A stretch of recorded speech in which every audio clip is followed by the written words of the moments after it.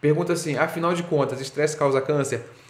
Essa pergunta vem sempre, né? A gente já respondeu várias vezes aqui, mas é, é importante a gente ressaltar e voltar nela. Tem até uma matéria que eu já escrevi sobre isso. Estresse não causa câncer. Essa é a resposta rápida, tá? Como que a gente sabe que estresse não causa câncer? Aí eu sempre falo estresse, aí mágoa e, e, tristeza e nenhum fator emocional é o causador de câncer, tá? Então, isso é importante a gente saber porque tem muita gente que fala, ah, fiquei deprimido e eu que criei o câncer em mim mesma. Não foi isso, tá? Não foi tristeza, não foi mágoa, não foi nada do tipo que causa estresse. Isso não causa câncer. Como que a gente sabe disso? A gente já estudou, é, e eu estudo, acho que eu sempre dou esse exemplo, que é o mais emblemático, foi um estudo que foi feito com judeus naquela época do, da Segunda Guerra Mundial, e esses judeus passaram pelo Holocausto.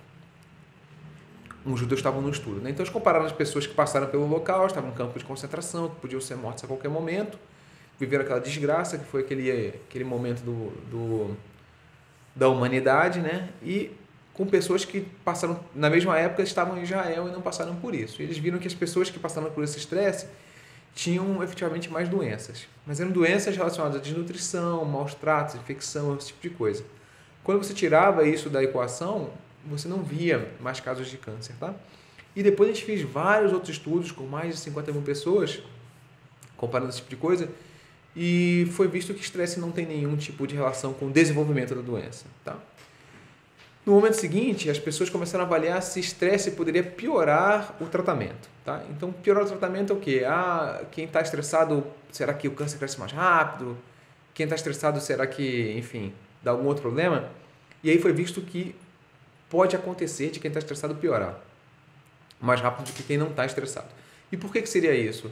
É, existe uma explicação, talvez, uma explicação biológica, que é a imunidade pode ser que faça o, baixa imunidade, o câncer escape, os vasos possam crescer, mas não me parece ser uma coisa muito importante isso, embora plausível do ponto de vista é, biológico, mas quem está estressado, quem está deprimido, tem uma chance maior de não procurar ajuda, de não seguir o tratamento corretamente, de faltar consultas, isso já, eu já vi acontecer comigo na minha prática também. Então, nos parece que quem está estressado ou que está triste, que está deprimido, não segue direito o tratamento, então pode piorar o tratamento basicamente por conta disso, tá? Agora, ah, estresse é fator de risco para outras doenças?